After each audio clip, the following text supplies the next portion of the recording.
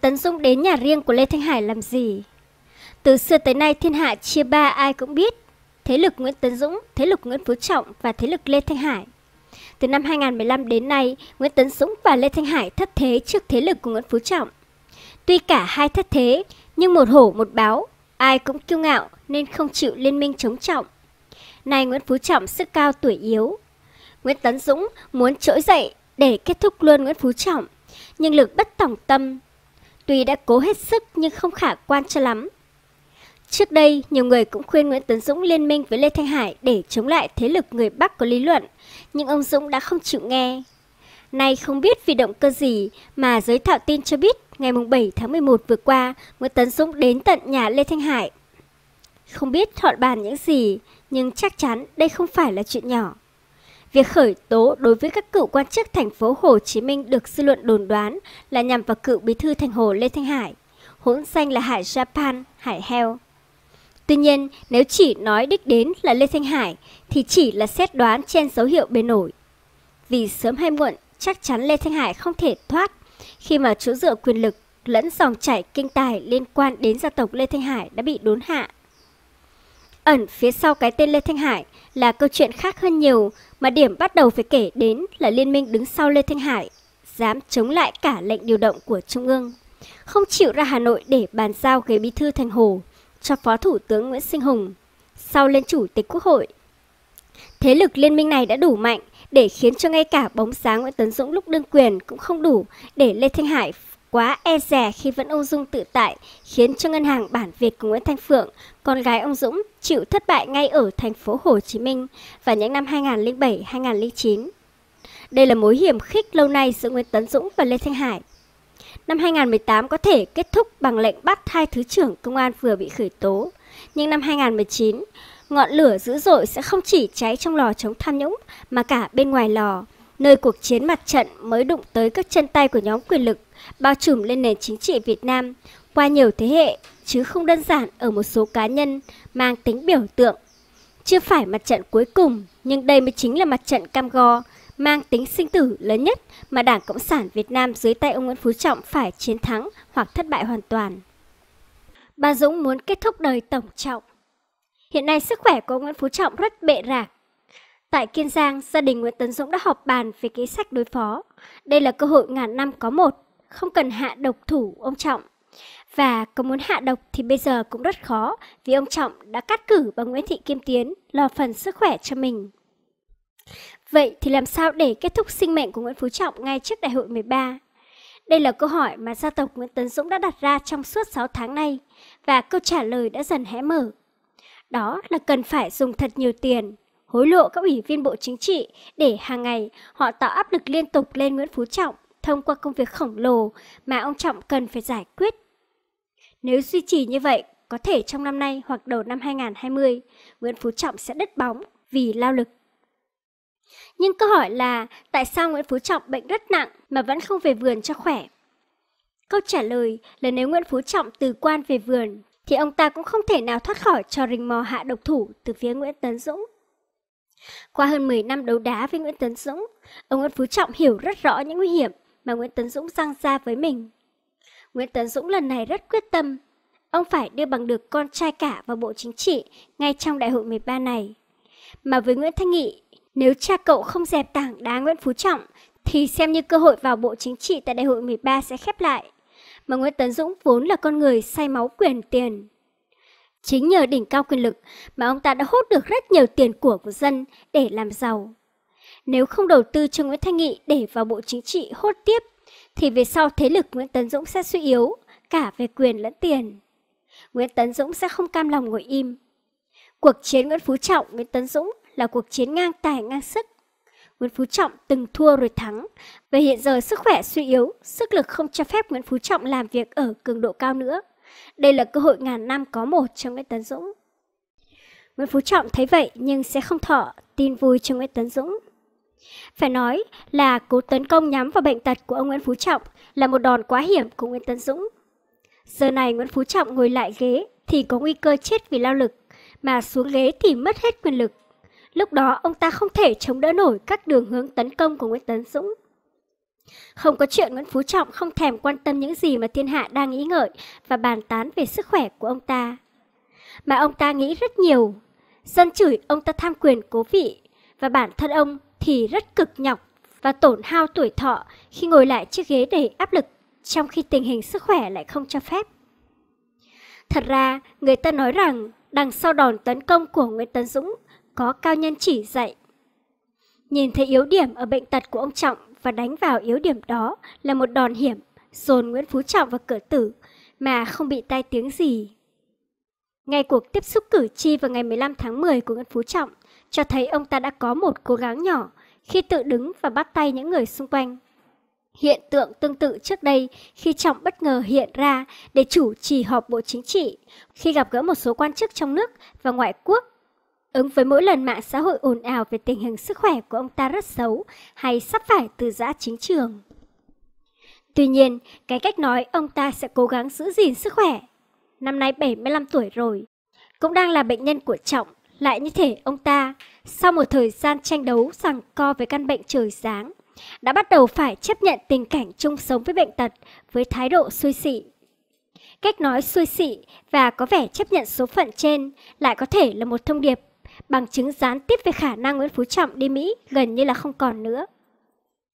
Nếu không thể đi Mỹ với tư cách là nguyên thủ quốc gia và lôi về thêm một quan hệ đối tác chiến lược nữa, Nguyễn Phú Trọng sẽ mất đi một thành quả lớn nhằm khuếch trương thành tích của ông ta để dọn đường cho Trọng bước vào nhiệm kỳ Tổng Bí thư kiêm chủ tịch nước hoặc ít nhất cũng là chủ tịch nước tại đại hội 13.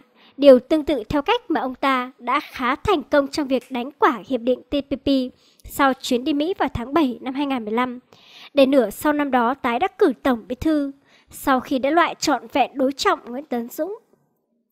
Đến lúc này, rõ ràng vấn đề sức khỏe và mức độ cải thiện bệnh tật của Nguyễn Phú Trọng không chỉ quyết định việc ông ta có đi Mỹ được hay không, mà còn quan trọng hơn cả với Trọng là chuyện ông ta có được phép ngồi tiếp hay không ở Đại hội 13. Sự kiện chỉ còn hơn một năm nữa sẽ diễn ra.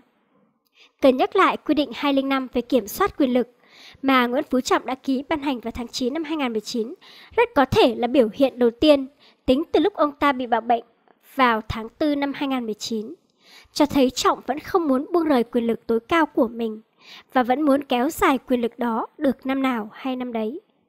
Trần Quốc Vượng bắt đầu được cho xuất cảnh.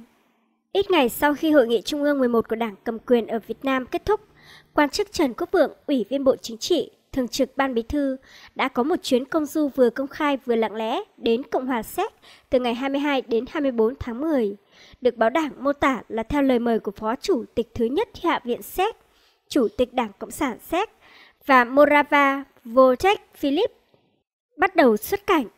Kể từ khi Trần Quốc Vượng được Nguyễn Phú Trọng bố trí vào ghế chủ nhiệm Ủy ban Kiểm tra Trung ương và sau đó được đôn lên chức thường trực ban bí thư để trở thành nhân vật số 2 trong đảng.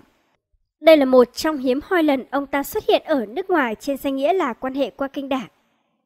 Séc là quốc gia có tiền thân là Cộng sản từ thời Tiệp Khắc và được xem là có mối quan hệ kháng khít anh em xã hội chủ nghĩa với Cộng hòa xã hội chủ nghĩa Việt Nam. Sau khi Liên Xô và hệ thống các nước xã hội chủ nghĩa ở Đông Âu tan rã vào những năm 90 của thế kỷ 20, Séc vẫn được Việt Nam xem là quốc gia thiện trí về quan hệ thương mại. Quốc gia này cũng là bến đỗ của hàng trăm người Việt, trong đó không thiếu mặt dân giang hồ buôn lậu và rửa tiền.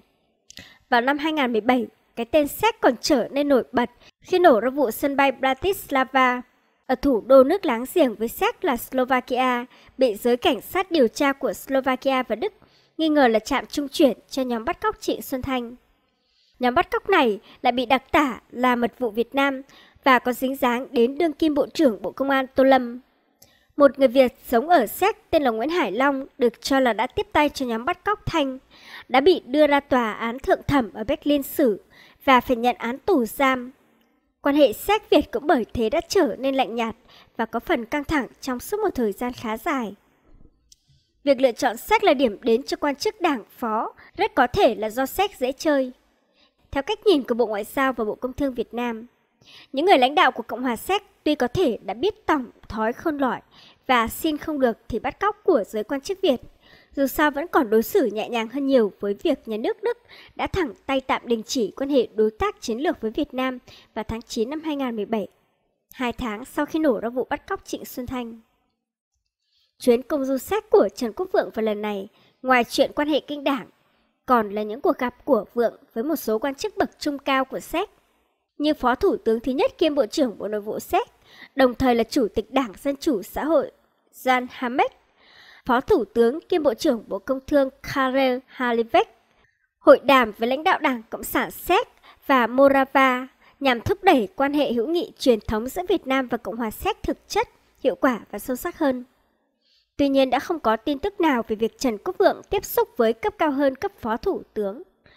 Với nhân vật có quyền lực đứng thứ hai trong Đảng Cộng sản Việt Nam. Kết quả như vậy là hơi thất vọng.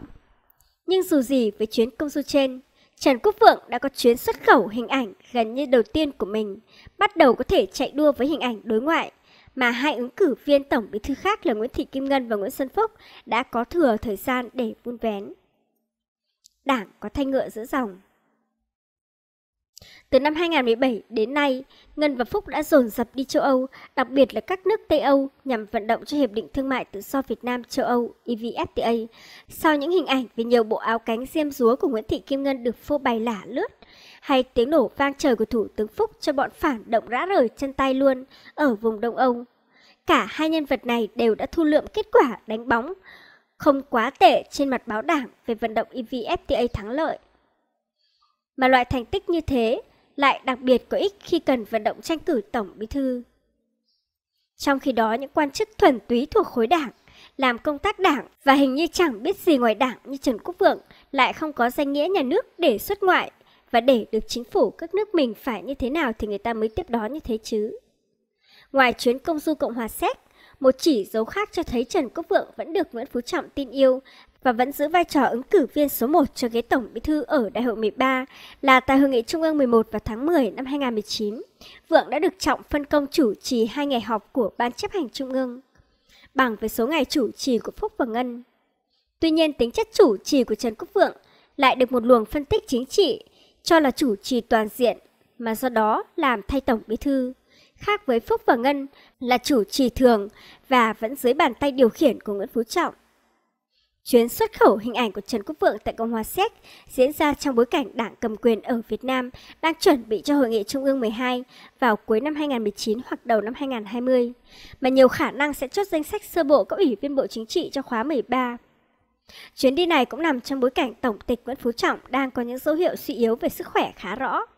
Không thể đi Mỹ gặp Trump và thậm chí khó lòng chịu nổi đến đại hội 13. Nếu kịch bản Trọng bị thay ngựa giữa dòng xảy ra, Trần Quốc Vượng sẽ là cái tên đầu bảng để chám vào ghế Tổng Bí Thư. Ngay khi chuyến xuất cảnh đầu tiên của Trần Quốc Vượng diễn ra, một dấu hỏi cũng theo đó xuất hiện. Phải chăng trong tình thế không thể đi Mỹ mà phải tìm một người khác thay thế mình? Nguyễn Phú Trọng đang muốn Vượng tập làm quen với việc được chính giới phương Tây tiếp đón và hy vọng sau đó sẽ đến lượt Trump chìa cánh tay ra với Vượng. Thay vì ủy quyền cho Phúc bước qua ngưỡng cửa phòng bầu dục. Nhưng như thói đời kiêm thói đảng, càng lên cao càng dễ bị thị phi và cả đâm dao sau lưng. Từ năm 2018, cái tên Trần Quốc Vượng bắt đầu xuất hiện trong vài bài viết trên mạng xã hội và những bài viết đả kích ấy kéo dài cho đến nay với tần suất ngày càng dài hơn. Chỉ có điều Trần Quốc Vượng vẫn có thể tự an ủi mình. Dù sao tên ông ta cũng không rơi vào lời sấm trạng trình Nguyễn Bình Khiêm, Bình chúc vô minh quang tự diệt, trọng ngân bạc phúc sản tất vong, mà đã cồn lên như sóng thần biển khơi ngay sau cái chết đầy nghi vấn của Trần Đại Quang trên ghế chủ tịch nước vào tháng 9 năm 2018.